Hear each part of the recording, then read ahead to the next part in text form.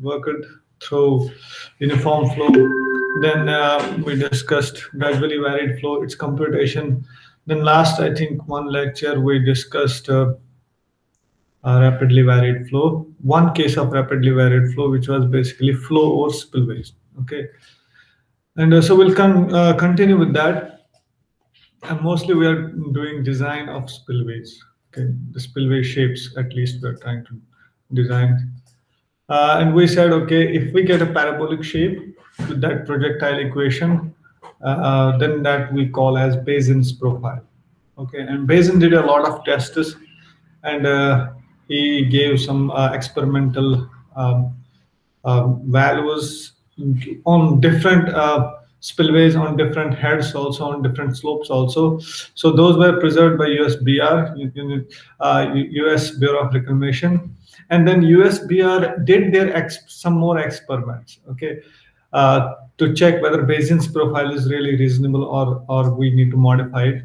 And then uh, after extensive tests, uh, the USBR itself they developed uh, kind of um, you know coordinates of the pro of the profile of them, right? So you can have x and y coordinates so for example, at the crest of the spillway, they say x is 0, y is 0, for example. And then they put some, okay, x is 1.1 meters, for example. What should be the y?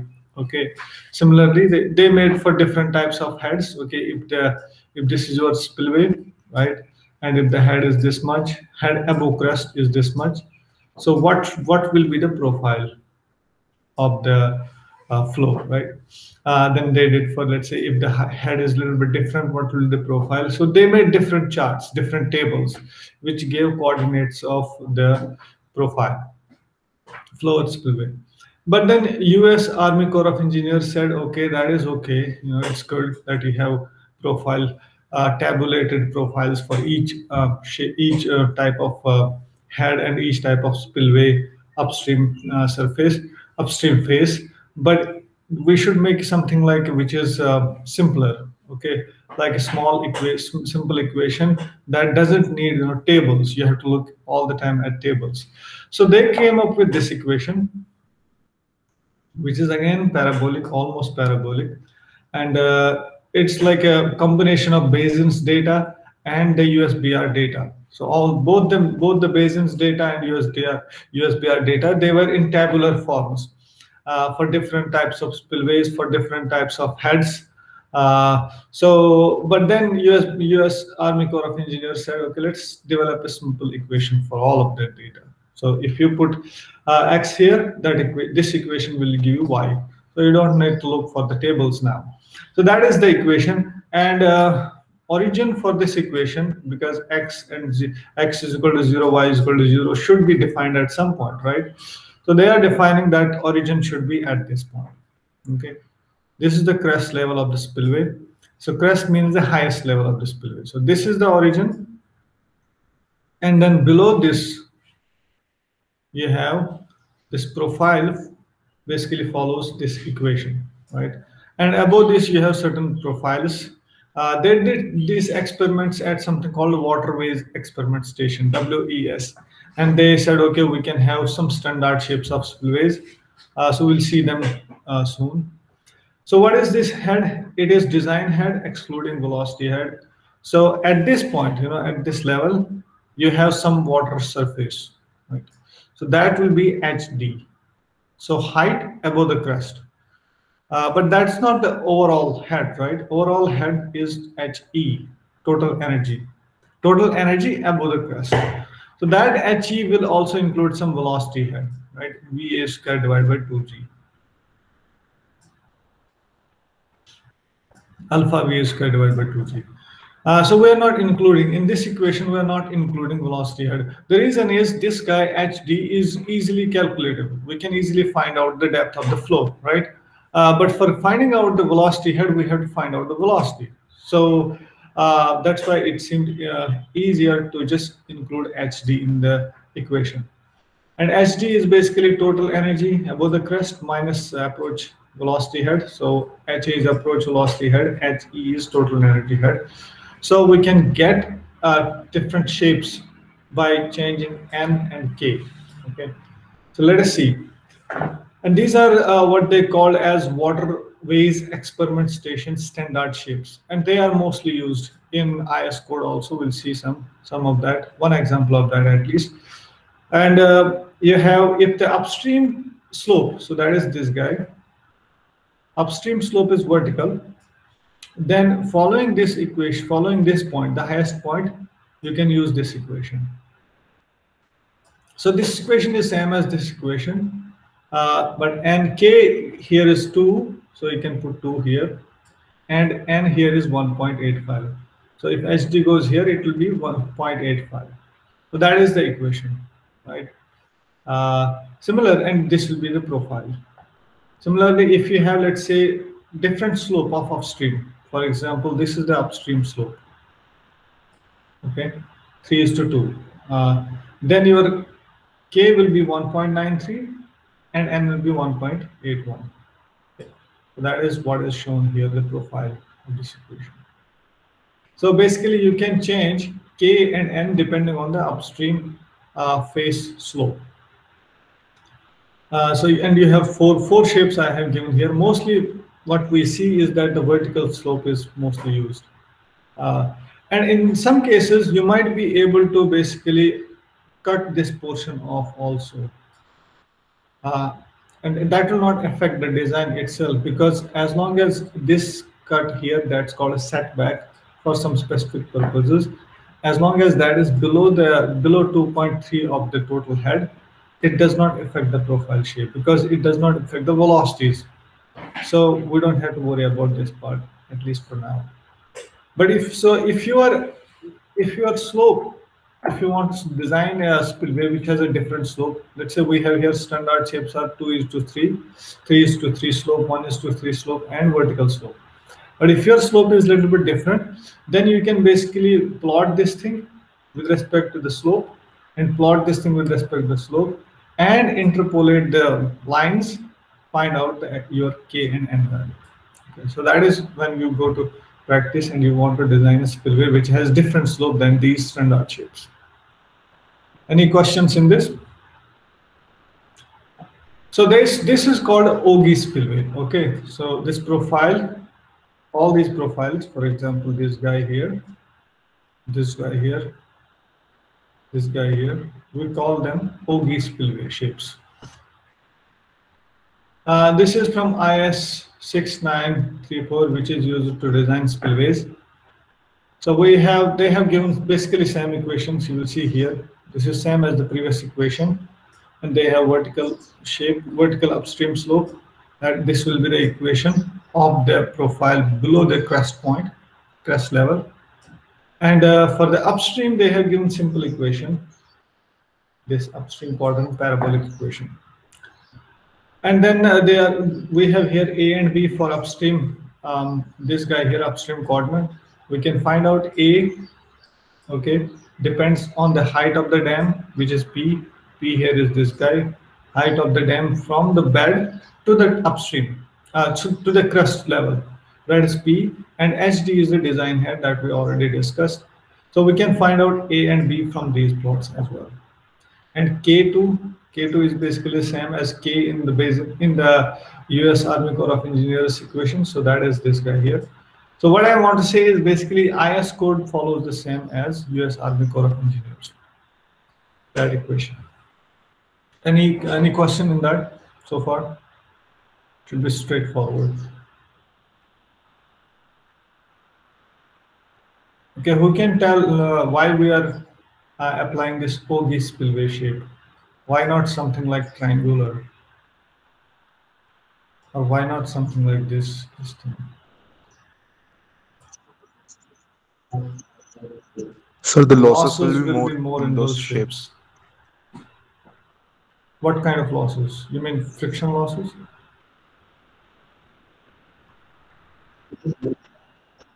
Yes, so friction and as well as eddies will also form at that endpoint. Okay, that is perhaps one reason. Friction uh, in, in rapidly varied flows, we don't worry about friction because the distance over which rapidly varied flow takes place is small. Uh, so friction directly depends on the length. Okay, so distance. So friction will not, but eddies maybe will will consider that. But I, I want a more more clearer answer. Why we are going to Ogee shape? Sir, the bed can get corroded because the difference in pressure and some turbulence. Okay, so that is uh, Cavitation. cavitation. We want to avoid cavitation. Okay. Yes. So, but how, how did like we have to see how did we find out this shape? You know, this is a specific shape. You guys are all correct, but I, I want a direct answer rather than the this is like uh, implications of this shape. How did we, or, or let me rephrase this question: How did we get this shape? Um, basically, how did we get uh, this kind of shape here? Did we do like? Did I show you in previous uh, slide, previous lecture, what happens to flow over spillway or a sharp crested weir? And what is the advantage of this guy? Sir, mainly it is a like projectile So, so we get this shape. Yeah, projectile, we get this shape. And uh, what is the advantage of that? Let me remove all of this. What is advantage that? That's what I want to get actually. Also. If you remember, we said, okay, if we have a sharp crested weir like this, and if we have, let's say, flow like this, and we will have a profile like this, right? That is a projectile we developed, the equation of projectile. Then we said there is some uh, property here at this point along this line, lower nappe. What is what Sir, maybe the pressure is zero and along that line. exactly? Exactly. Good. Good. So the at the pressure gauge pressure at this point is zero. This point, this surface and this surface are at atmospheric pressure, right? So we don't have negative pressure. We don't have positive pressure. That is the advantage of this profile. Okay. Let us let us move on. Okay, so how much is the design discharge uh, over the spillway? Uh, you might know this equation, Q is equal to CL H e raised power 1.5. Well, He you might not know, but H you might know. This is all types of weirs. You can calculate the discharge, you can measure the discharge if you know the head, if you know the height of the water above that weir. For example, if you have broad crested weir, you know how much is the, let's say this is the weir,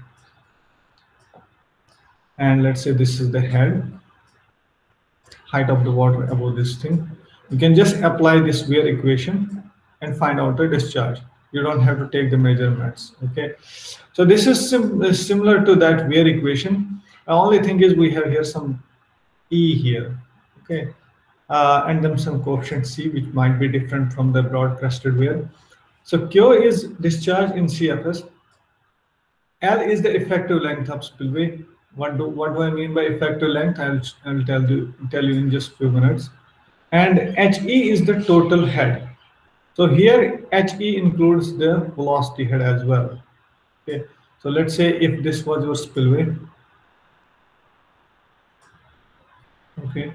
And uh, water level at this point at the top before the spillway is H. That will be HD. So in calculating the discharge, we'll include HD, plus we'll include velocity head also.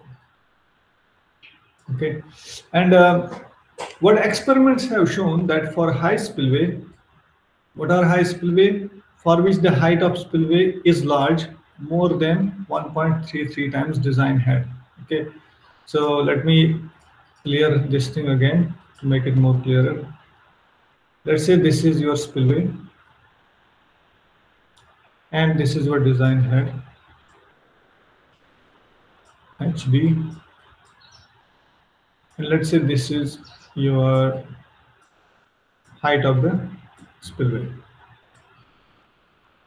So height is above the crest. Let's say this was the crest level okay? So this is edge here. If the height of the net sometimes they call it p doesn't matter. P or h small h they are same both height of the spillway if the height of the spillway is greater than 1.33 times the design head, that is called high spillway. Okay. For high spillway, what's the advantage? Because the depth of the flow is quite large, so the approach velocity will be small. When the approach velocity is small, the head approach velocity head is small, okay, in general. So HA can be neglected. This guy can be neglected, right? So what we can see is HE is equal to HD or close to HD. So we have two conditions here. Uh, one, we have a high spillway for which the height is more than 1.33 times the design head. And because actual head uh, or the operating head, the second condition is the actual head or the operating head is same as the design head. So you see, this is, we design a spillway for one, one design discharge. So that means one head. But in actuality, in actual cases, uh, you might have sometimes you might have design head higher sometimes you might have operating head which is higher and sometimes might be lower depending on the flow conditions. But here the two conditions i'm trying to say is the uh, spillway is high and the operating head is equal to design head. Okay. In that case we know total energy can be equal to hd because ha is close to zero because it's a high spillway so this C here, we call that under these two conditions, this is a design uh, coefficient, right? CD. C is called a CD, which has a clear value of 4.05. So the point is, if you have a high spillway and if the operating head is equal to design head, at that time C is equal to CD, right? We'll see how we can use it. For low spillways, for which the height of the dam is smaller as compared to the high, high spillways. H by HD is, it should be less than, less than 1.33. So approach velocity cannot be neglected because you see the dam is small.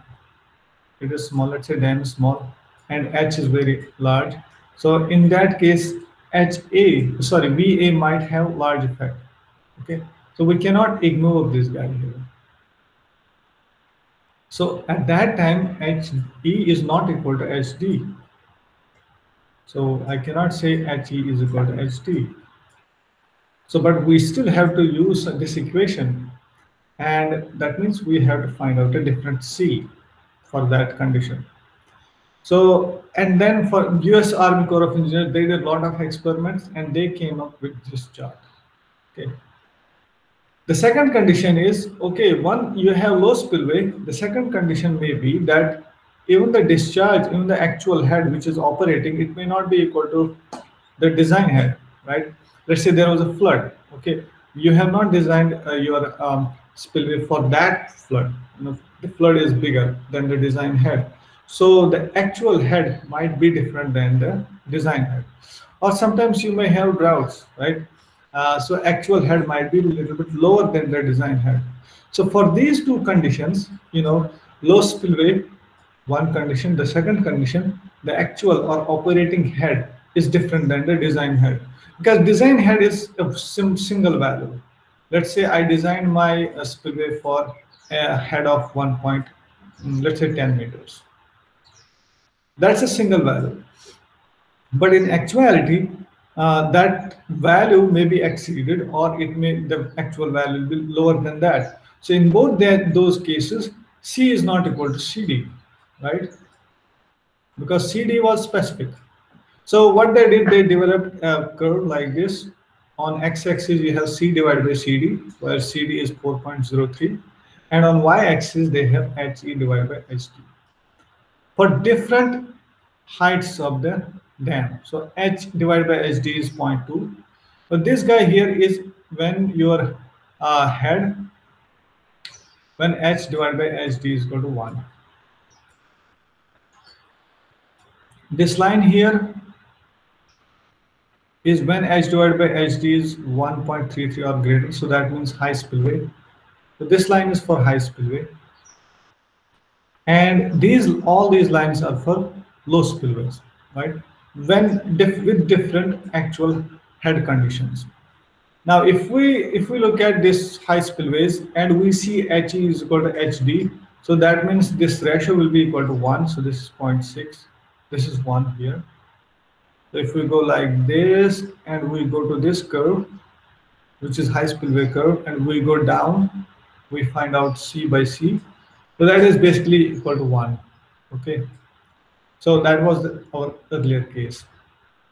So from this equation, we can also see that even if HE divided by HD is 1, so that means the operating conditions are same as the design conditions, but the spillway is low. So C will be C will be less than CD. So basically the discharge will be a little bit lower for low spillways, right? Uh, how can we visually see it? I'll try to show it here. Uh, if you have, let's say, okay, this is your spillway okay? So the height of spillway is let's say um, two meters very small spillway. But the design head is four meters right? So basically it's not a spillway because it's very small so hd divided by h is almost 0.05 so maybe this curve will be followed so it becomes like a sill. We call it sill. Uh, in that case, the discharge is significantly reduced. As compared to now, you look at a case when you have, this is your spillway. This spillway, the height is four meters and the design head is only two meters. Now, in this case, normally the flow will be a little bit higher, okay, as compared to this case for the same head, if, if you have the same head. So the point is for low spillways, the discharge is a little bit lower than high spillways. And if the design, if the operating head is uh, higher or lower than the design head, the discharge will be lower. So from these curves, we can see that. Now I'll show you, there is some example, I think uh, Rosa or Arif will cover this in uh, tutorial. So I'll not cover this because we don't have too much time. We have quiz also. I'll just move over this. so what we what have we so showed is Q we can get once we know C, L, and HE, right? And L was effective length. Uh, I think I forgot to discuss this. Let us see. Let's see. Okay, L will discuss soon. Don't worry. Okay, but the point is, once you design a dam, you can clearly find out, okay, what's the, you can do experiments on this and you'll see what's the elevation above the uh, crest and how much is the discharge. And then once you do those experiments, you'll find out some values here and you can fit a simple equation to that, simple curve to that. The advantage of that is you don't need to find out C, you don't need to find out L, you don't need to find out HE, right? You can just this is from the observations and you can use anytime the discharge the head is let's say 304 you can just go here and you can measure the discharge. So that is called a rating curve. Okay? So rating curve is discharge versus water surface elevation Now rating curves, we can do, you know, we can do uh, calculations, we can do measurements, and we can find out, okay, corresponding to this height, how much was the discharge, and we'll we'll do that multiple times, find out the curve. But without that also, if we just use this equation, find out C, and find out what is the head corresponding to different height levels, we can use this equation and make that plot, right? Like this. So spillway is designed for a one head that is HD, but it must operate for a wide range of heads. Let's say this is our spillway, and we did this was designed for a head of this much. But sometimes the head might be a little bit higher, sometimes might be a little bit lower. So the spillway has to operate in all those ranges, and we have to find out the discharge in all those cases. And it has been shown that the spillway studies have shown that head can be safely exceeded by 50%. So if this head was 2, we can easily exceed this by 1 point. So this will be 3. Up to 3 we can exceed and we can still use this equation and find out the correct values of head. Beyond that, there will be cavitation and that could be that could harm the spillway. So for other heads and other design uh, upstream faces, we can use this equation for different heads, right? And we can use this correction factors on this side. So this, this thing, this curve was for, these curves were for upstream slope was vertical. But sometimes, you know, we have seen that upstream slope might have, upstream face might have some slope. In that case, once we find out C from this, let's say our head was 0.4, HE divided by H was 0.4, and our spillway was, let's say, uh, a high spillway. We found out C is, let's say, 0.86. Okay, 0.86. So that was per perpendicular when the when the upstream face is vertical. So that 0.8, let's say 6 we found. If our upstream face is, let's say, has some slope of 3 is to 1, so we can correct, we can find out the correction factor, let's say 1.01 and multiply that. So that will be our C. So we can use this equation itself without doing any experiments and find out the rating curve from this equation. Any, any questions on that?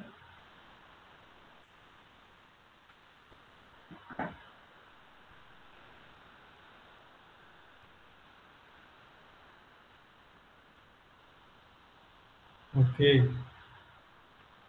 So let us see. Um, I want to ask a question, but the problem is we don't have too much time. So let, me move on. I'll ask you some question later. So this is Sardar Sarovar Dam. We might have heard about it. Um, the discharge we say is affected by the head, right? But it's also affected by the piers, by the length. We said, okay, Q is equal to CL H raised power 1.5, H E raised power 1.5. We should not forget this E here. So this we discussed in detail that C depends on the operating head conditions. It also depends on what type of spillway upstream face you have. Um, and it also depends on whether you have high spillway or low spillways. The first thing you have to find out is whether you have high spillway or low spillway. But we know the discharge also depends on this thing here, L, the length over which the discharge is happening, right? So that length depends on the effect that piers. Let's say piers means uh, this is your dam, for example. These guys here, this this part is the spillway, right? This part is spillway. But actually, entire thing is spillway, but this is over which the flow is happening. And this part here, this is pier one, pier two, pier three, and this is also pier. We have a lot of piers. They are used to uh, basically support the gate, right? On a spillway, let's say this is your spillway. You will have a gate here to basically resist the flow like this. In gated spillways, at least, you will have a gate, and then you can lift that gate to allow the water to flow over. But these gates, gates, they have to be supported. Who will support it? These piers will support it. Okay. For example, this dam has, okay, this is design flood. That is one value. This is ogee shape. Um, length of spillway is almost uh, 0.75 kilometers. Crest level, so crest level is top point from the bottom. And uh, spillway discharge is same as the design discharge. Radial gates, so this was radial gates, this guy here. You, you can lift it radially. I'll show you some pictures later maybe. Number of spillway gates, it has 23 gates. One gate here, second gate here, third gate here, fourth gate here, fifth gate here, six, seven. So all the um, all the gates should be between piers, and uh, each gate is this much width, 18.3 meters width, and this is the height. So that is an example of a ogee-shaped spillway, right over Narmada. Okay, so this is another dam which we did. Uh, we basically checked the design uh, of this barrage in Rajasthan. So this is the spillway shape. This was again ogee spillway shape. We did ex uh, we did extensive understanding of this thing here. And then uh, what you have here is the gate, right? This is the radial gate, this guy here. And when you lift the gate up to this point, it will allow some water to flow through. And then you have something called stream basin here and a lot of other things which we have not studied yet, but we are only trying to find out the shape of the spillway. Okay. Now, this is the top view. of the, that was the sectional view. This is the top view, and these are piers. The gate was between, gate, gates are between these, right, piers. I think it had 28 or 29 gates. These were the piers. So these piers basically they they will affect the flow, right? All of them will affect the flow. So those are some examples, and this was our example. Uh, this was our discharge, and we want to see what is the effect of piers. As we know C what it depends on. Now L what it depends on. So let's say this was our and flow is happening. Let's say this is top view. We are talking about top view. We have pier here. We have here and flow is happening this way. This is the spillway. So what will these piers do? They will basically contract the flow a little bit, right? That effective length between two, they, we call them uh, piers. We call this length the bay. Okay, from one pier to another pier, it's called bay. One bay. Okay. So effective length will be L naught, be total length between the piers, or total length of the bay minus some contraction effect that was because of the piers, because that will affect the flow, it reducing the effective length. So that contraction is given by K and E, K and HE. A simple equation we are doing. L naught is clear span of one way, K is contraction coefficient, N is 2 for each uh, gate bay. For example, N is 1 for this guy, N is 1 for this guy, this pier. So total N for one bay is 2 okay so the shape this k uh, contraction uh, coefficient that depends on the shape and the position of the pier we'll see that also it depends on the head condition also whether your head operating head is design head or something different than design head and it also depends on the depth of flow which means the whether the dam is high spillway whether the spillway is high or low. And it also depends on whether your let's say this was your one pier and this is the bay. And then you have second pier third pier this is second bay. And then you have a pier also here and this is bay. Flow is happening this way right a K will also depend whether these bays are these gates you will have gates on them right whether they are closed or open if they are closed then K, lot of flow will be contracted this way. But if they are open, then the flow will not be contracted that much. So K will be a little bit less. So K also depends on whether the adjacent bays, adjacent gates are open or not. As a simple example, this is also from uh, US Army Corps of Engineers. You have different types of piers you can have. For example, this one, round, you have triangular flow is happening in this direction, right? So this will affect the flow less, and this will affect the flow more, right? And uh, you have different types of piers. And the US Army Corps of Engineers, they have given an equation which gives you corresponding to whether you are a design head or something else, what will be the contraction coefficient K for different types of piers. Right?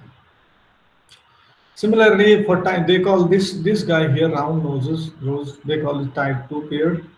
And then you have type 3, type 4, type uh, 1 also, which is basically square, rectangular, you can say. And then uh, same thing here, K, for example, in most cases, K will be uh, less than 0.05.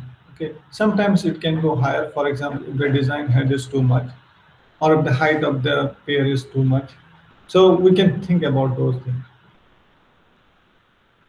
I'll just need uh, maybe three, four minutes to complete this. So effect of the pier uh, is, we saw that it affects the discharge, but it affects the upper nappe of the profile also, right?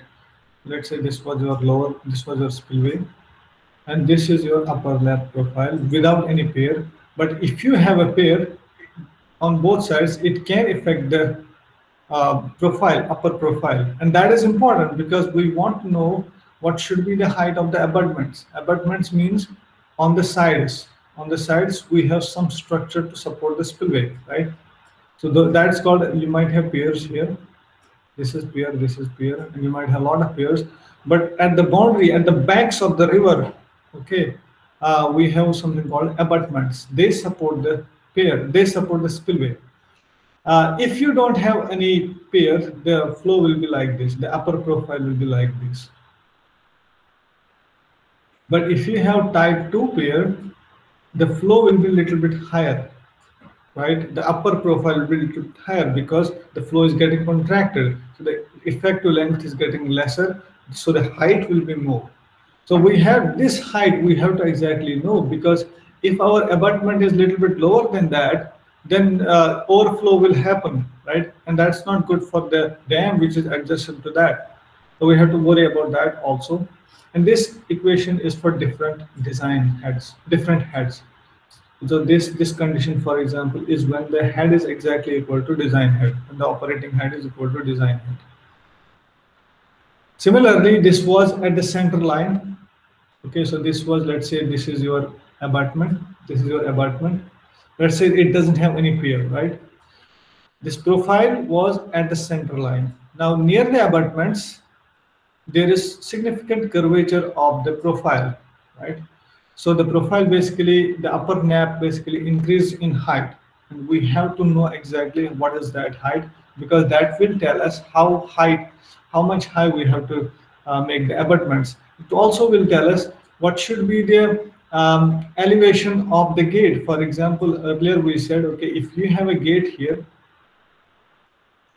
right, we want to know up to what height we can take the gate so that you know gate is not affected by discharge when the flow is happening. Let's say if the at if this point because of the pier the flow profile increased and our gate was here and the flow was here it will affect the gate. It will cause damage to the gate. So we have to keep gate a little bit higher. So that means we have to know the upper profile also. For example this is uh, somewhere in india i think this is pier here this is pier here this is pier here. So all of them are basically affecting the upper nappe profile here you see. And downstream also we see from this figure also downstream also there is an effect of the profile right? This is uh, along the piers. here you can see that the effect is effect of the pier is not only at the upstream but also at the downstream so uh, this is basically same thing saying we have different bays. Okay, this is abutment on the left side, and this is uh, bay number one, bay number two. You have piers in between them, and this flow basically is on the left side. Okay, so this is experimental data. This is in bay number one. What is happening to the flow near the bay? Basically, profile is a little bit higher than the abutment. We have to see that also. We have to make sure that doesn't happen. Then the last, this is, I think, the last slide. So just bear with me. I'll give you two minutes extra to complete the quiz. Um, this is the pressure distribution. Okay, you have pier here, right? This is the crest level, and this is upstream crest, and you can directly go here and see how much is the pressure at each and every point. So that is shown here. So this is the pressure divided by design head. We can say pressure just before the head is a little bit lower. It decreases. And as we know the profile, we are trying to make sure that there is no pressure, right? Ideally, at design conditions, there should be no pressure over the spillway. And for this condition, which is ideal condition, the operating head is equal to design head. There is indeed almost zero pressure throughout the line, throughout the length of the spillway. But before before the spillway, there is some negative pressure, and that is that is because you know at this point upstream you have some head edge. And as the flow moves its uh, head potential head is being converted to kinetic energy. But there is still some head here. So that's why there's a decrease in the pressure head up to when it completely becomes zero zero zero zero throughout the uh, spillway. But when you have a low spillway right? When you have, for example, uh, the uh, this kind of spillway, which is not when the when the depth of the spillway, when the depth uh, is little bit higher, okay, that time the pressure will be negative, as we have seen because of the cavitation. So that that is this case. The pressure is all the time negative because the uh, height of the the head is more, and when the head is less, the pressure will be positive because it is not exactly the trajectory profile because the depth is a little bit lesser. So we can see from these curves, all these, the theory that we have discussed, that basically matches the experiments also. Okay. I think that is it for today. Um, uh, quiz is posted. So let's try to solve this quiz. Uh, I think I have given 8.55 time. So uh, we are three minutes late. So maybe four minutes late. So you can take up to nine to solve the quiz. Uh, I think the quiz is posted. Can uh, someone confirm whether the quiz is posted or not?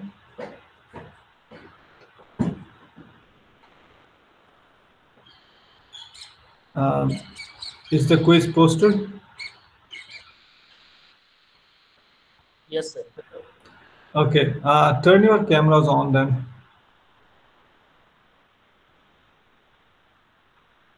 Okay, good.